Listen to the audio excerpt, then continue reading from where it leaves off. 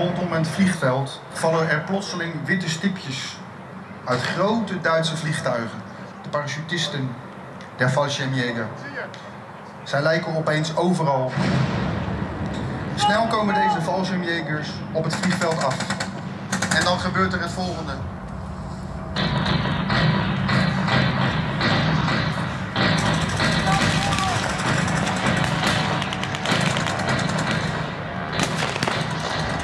Nederlanders verdedigen echt hardnekkig. Menig parachute valt ter aarde.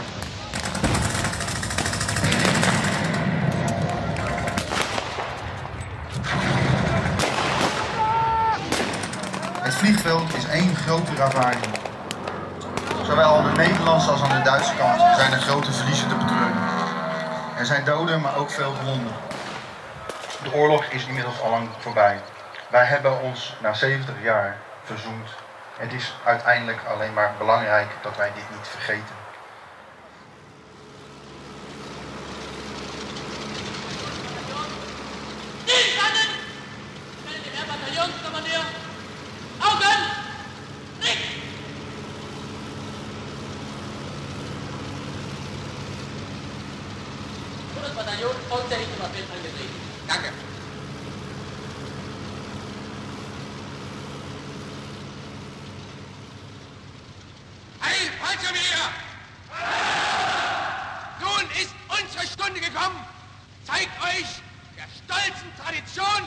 Schalupp war bewürdigt.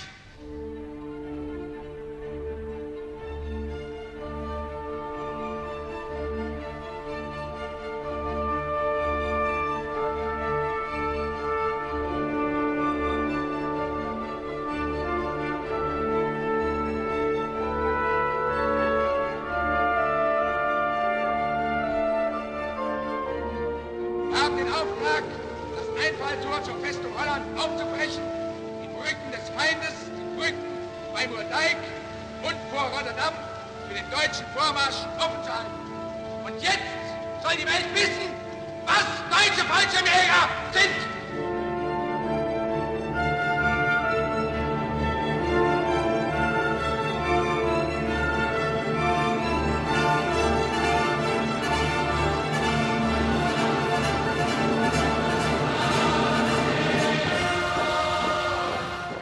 Die Duitsers die liepen dan door die straten heen en die zongen.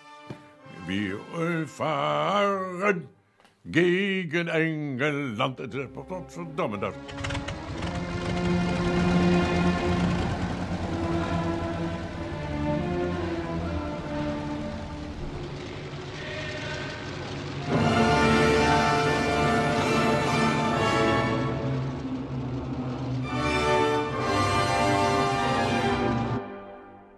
dat een klein landje als wij toch maar zo verrast kunnen worden door, door je buurman. Ja, die daar met een overmacht binnenkomt, terwijl bij eigenlijk van parachutisten helemaal niks was. Het was allemaal vreemd, het was een volkomen verrassing. Ja.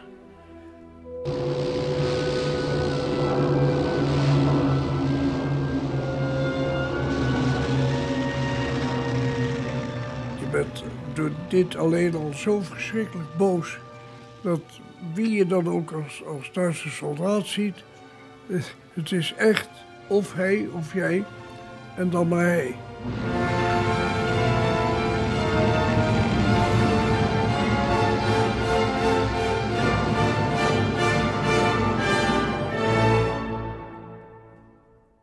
Ik ga niet naar Duitsland. Nee, pieker er niet op. Wat moet ik er doen?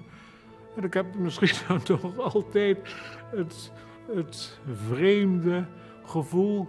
Ja, ja, ik ga er niet naartoe, want dan pikken ze me alsnog op. Wat ze in 40, 45 nagelaten hebben. Idioot, ik geef het toe. Maar dat gevoel heb je. Umgeben von den kilometerbreiten Mündungsarmen des Rheins ist das Herz der Niederlande mit den wichtigsten Städten Amsterdam, Rotterdam und Den Haag eine einzige Riesenfestung. Sie muss fallen, um die Basis für die beabsichtigten englischen Operationen zu Land und in der Luft in der Nordflanke der deutschen Stoßarmeen auszuschalten. Ik sta hier voor een kaart die gebruikt werd in mei 40 door generaal Winkelman, de Nederlandse opperbevelhebber. En op deze kaart kunt u heel duidelijk de Nederlandse positie zien aan het begin van de strijd in de meidagen. En dit is de reconstructie van die staf van waar de Duitsers op 10 mei zich bevonden. Heel belangrijk is dit punt. De inbraak bij Gennep met een, een panzertrein. En vervolgens gaat de panzerdivision gaat deze richting Moerdijkbrugge. Hier hadden de Duitsers in de vroege ochtend van 10 mei parachutisten geland. Hetzelfde geldt bij Dordrecht. Waalhaven is in Duitse handen. Deze aanval van die parachutisten verloopt voorspoedig. Groot verschil met de luchtlandingsoperaties rond Den Haag, waar de Duitsers een aanval deden op drie vliegvelden, maar door de Nederlandse verdedigers al heel snel omsingeld werden en vervolgens die vliegvelden los hebben moeten laten. Met andere woorden, de Duitse aanval op de vesting Holland mislukte in eerste instantie in Den Haag.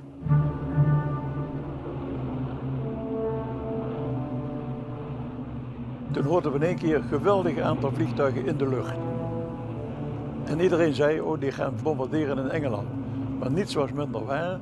Zij gingen vanuit de Noordzee, kwamen ze terug en bombardeerden Den Haag. Men denkt eerst nog dat ze naar, naar Engeland gaan en ze draaien om. En vervolgens krijg je hier om zo vijf of vier, vier uur s ochtends de eerste bombardementen en beschietingen. Zowel van de vliegvelden, maar ook van kazernes. En eh, het gebouw waar u nu te gast bent, eh, bevindt zich op een locatie die eh, getroffen is. En er is in het gebouw aan de overkant, zijn s ochtends op 10 mei, zijn 80 leden van de cavalerie gesneuveld. En op dat moment zie ik de bommen vallen op de Alexanderkazerne, waar 53 soldaten sneuvelden en zoveel paarden. En toen dacht ik weer, wat een heldhaftigheid, hè? Om zo zonder enige oorverklaring onverwachts aan te vallen? Dat vind ik, dat blijf, blijf ik altijd nog misselijk vinden, hè?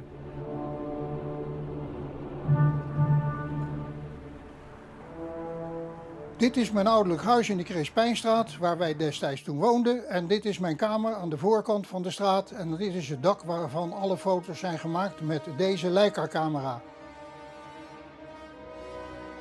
Ik eh, ben s'nachts eh via het raam hier naar buiten gekropen met vader en we zijn op het dak terechtgekomen. En we zagen op een gegeven moment heel in de verte vanuit Scheveningen twee vliegtuigen aankomen. Dat was tussen half vier en kwart voor vier. Hm, dat we allemaal tegelijk wakker werden eh, door een luchtgevecht vlak boven de Haag. En ik werd wakker door een geweldig lawaai, schieten en eh, ja, rumoer op straat. Dit is een opname van het dak van de Crispijnstraat af. En dan zien we hier de huizen van de Wolde Piemonkade en de Veenkade. Daar op het dak zie je nog iemand in pyjama staan... die ook natuurlijk overvallen is door dat gelawaai wat in de lucht plaats heeft. En je ziet daar diverse vliegtuigen op die foto.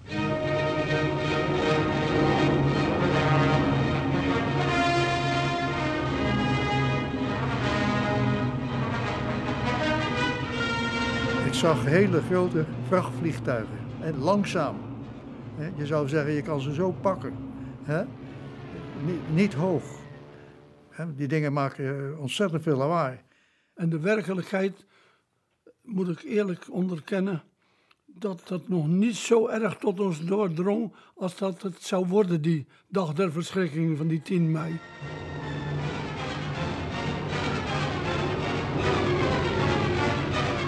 Die 10 mei, ja, toen hoorden wij dus op een gegeven moment allerlei vliegtuigen in de lucht.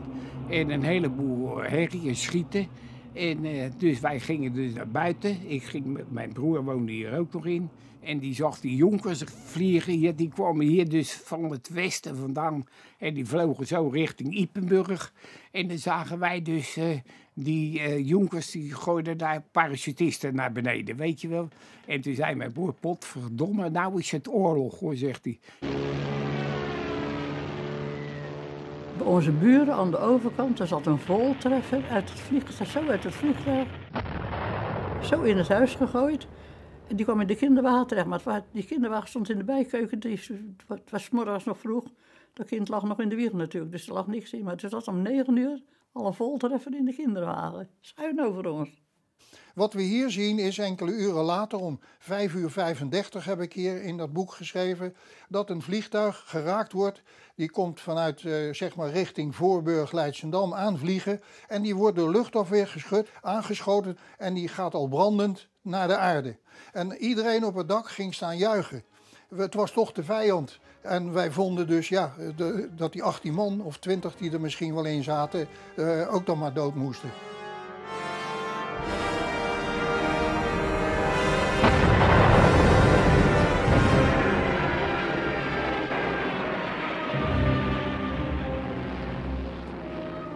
Wij woonden op het Julian van Stolbergplein in het Bezuidenhout.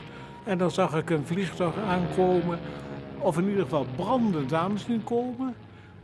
En zien eerst, dat heb ik helemaal gezien, vanuit mijn slaapkamer op de tweede etage, die zo eigenlijk de Adelheidstraat inkeek.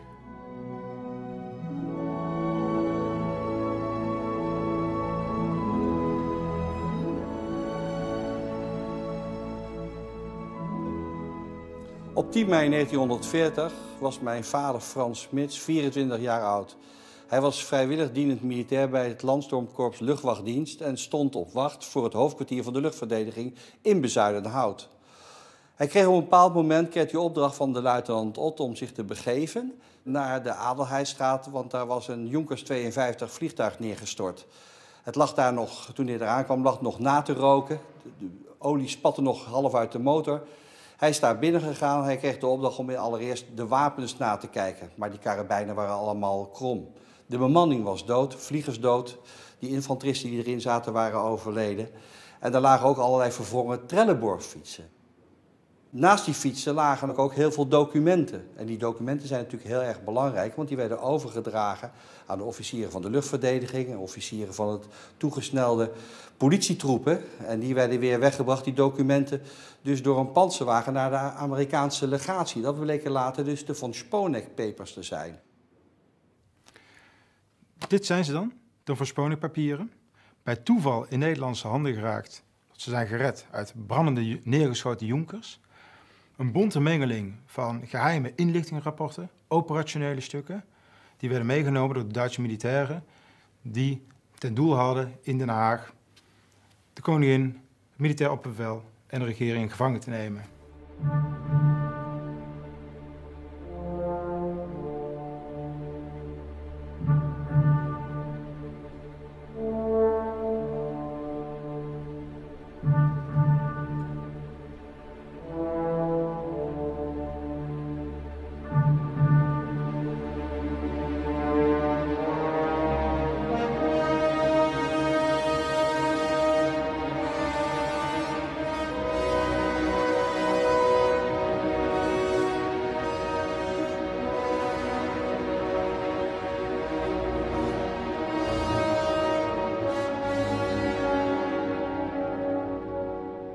Hier een eenvoudig plattegrondje, ook weer afkomstig uit het toestel uit de Adelheidstraat.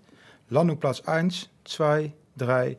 Vanuit deze drie vliegvelden zou worden opgerukt richting het centrum van Den Haag. Dit is het vliegveld Ipenburg. Dit is het vliegveld Valkenburg. En dit is het hulpvliegveld Ockenburg. Deze kaarten werden verspreid onder de verschillende eenheden die zouden moeten oprukken naar het centrum van Den Haag.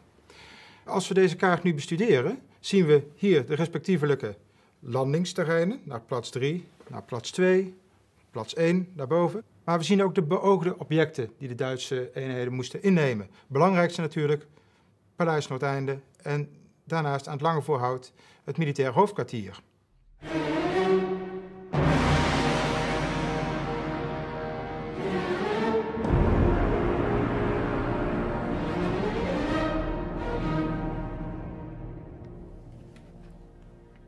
Wat we hier zien is een plattegrond van Den Haag. Hierboven staat sperrzone voor bommenwerf, gelijkzijdig meldekarten. Je ziet hier de drie vliegvelden. Daaromheen staat precies aangegeven het gebied waar niet gebombardeerd mocht worden. Dit alles ter bescherming van de eigen troepen. Hier geht es über holländisches Land.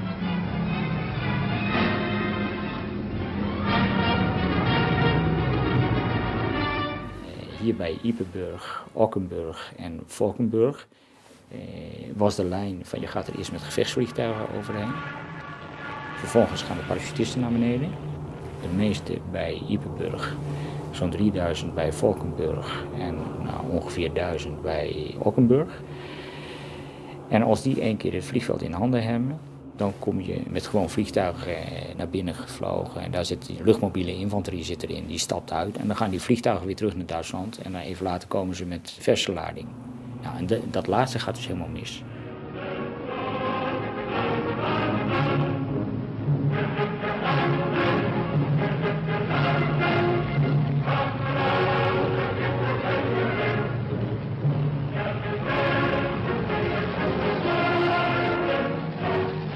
Ersten Fallschirmjägern sprangen auch Kameramänner der Propagandakompanien ab. Niemand had ooit van, van parachutisten gehoord of gezien. En de soldaten kwamen dus uit de lucht vallen en vuurden al vanuit de lucht op onze troepen. Dat was, dat was zo vreselijk, dat, dat, dat kun je helemaal niet voorstellen. Eh, wij waren nog de echte, de brave jongens. Als, eh, ik herinner mij dus, als we in de Herenstraat in Wateringen een huis binnen was, dan belden we netjes aan. Terwijl de Duitsers met de kolf van het geweer de raam insloegen en naar binnen gingen. Dus dat, dat, dat, dat was voor ons helemaal nieuw.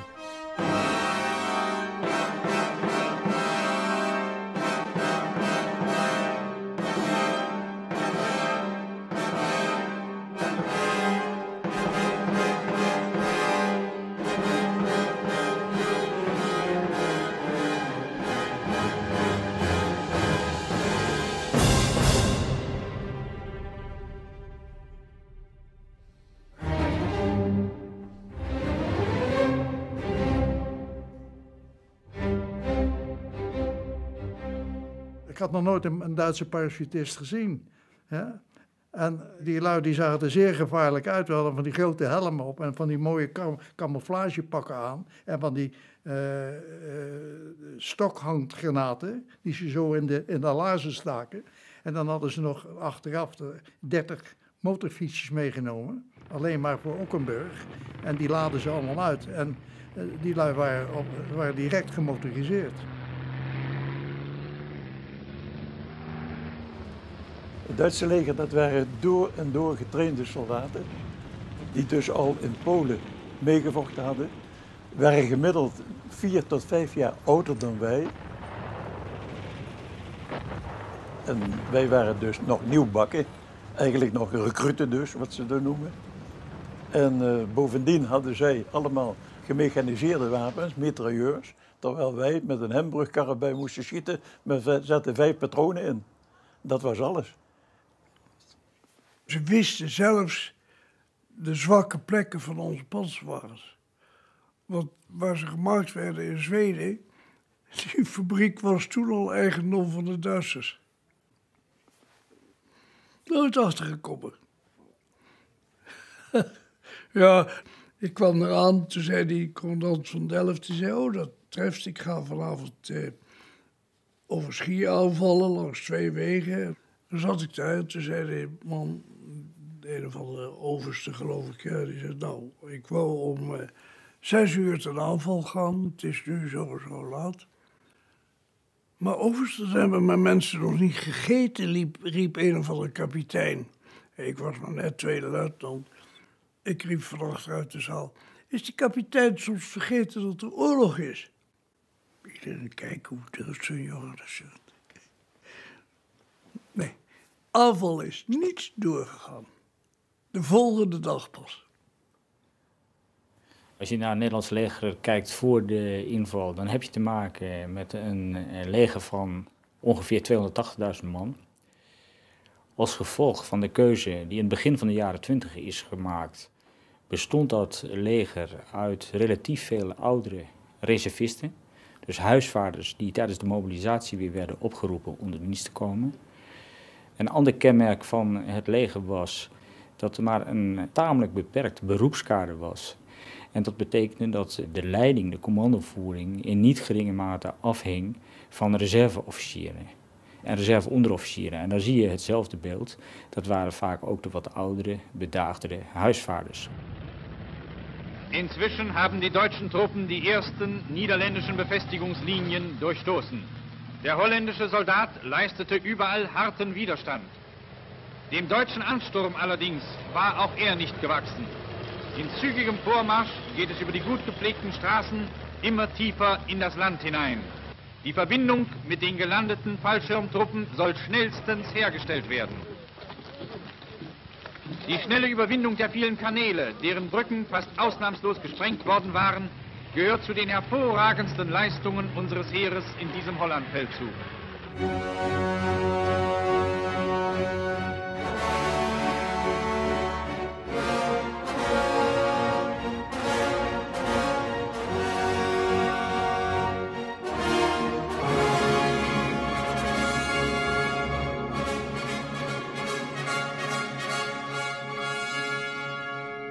Uit dit Duitse inlichtingenstuk blijkt zonneklaar dat de Duitse opperbevel al in het voorjaar van 1940 op zoek was naar de privéadressen van het Nederlandse opperbevel. In dit geval generaal Winkelman.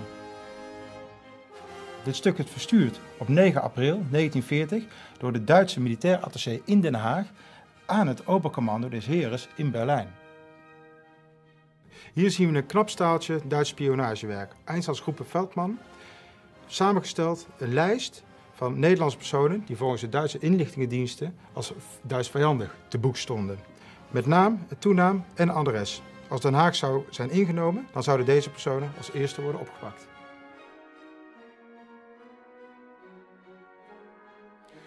De Von Sponek papieren zijn uniek. Het geeft inzicht in de operationele besluitvorming. Het geeft inzicht in het inlichtingapparaat. Uh, het geeft inzicht in uh, de overmoed, maar ook de bravoure van, van, van, van, van de Duitse uh, aanval op Nederland. Het gewaagde plan, de aanval op de residentie. Hier zien we ook zo'n prachtig document.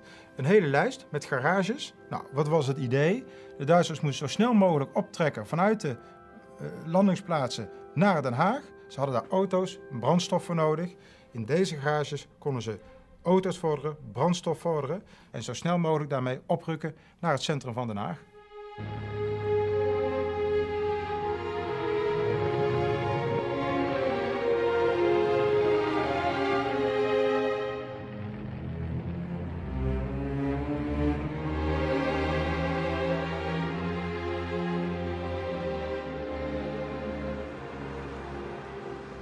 Staan hier bij de Haagse Schouw. De brugovergang over de oude Rijksstraatweg naar Amsterdam vanuit Den Haag. Deze plek was een belangrijk toneel van gevechten rondom vliegveld Valkenburg in de vroege ochtend van 10 mei 1940. De Duitsers hadden plan opgevat om naast de verovering van de vliegvelden ook de toegangswegen daartoe af te grendelen. Zo was deze brugovergang een belangrijke toegangsweg vanuit Leiden naar Valkenburg. Duitse parachutisten hebben deze brug ingenomen en in de vroege ochtend van de 10 mei 1940 hebben Nederlandse eenheden deze brug op de Duitsers heroverd. Waardoor ook de herovering van vliegveld Valkenburg diezelfde dag nog plaatsvond.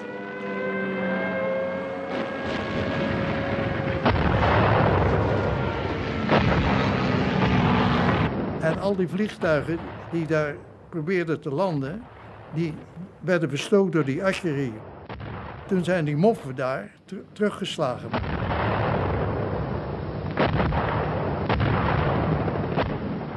De Duitsers die hadden naar mijn mening eh, geen flauw benul dat ze zoveel weerstand zouden ontvangen.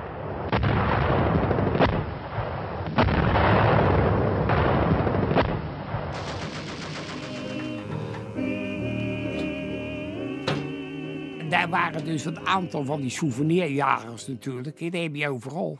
En ik was daar dus ook. En ik ging dus in zo'n jonker. En ik, eh, ja, ik zag allerlei mooie dingen. Ik heb dus een kompas gevonden. En ik heb dus, eh, eh, nou ja, die kaarten. Maar u kon gewoon dat vliegtuig in? gewoon het vliegtuig in en slopen wat je wilde.